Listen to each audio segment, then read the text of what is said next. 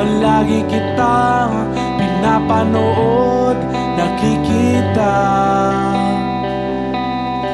Jopay, pasensya ka na. Wala rin kasi akong makausap at kasama. Huwag ka nang mawala Huwag ka nang mawala. Ngayon. Ngayon.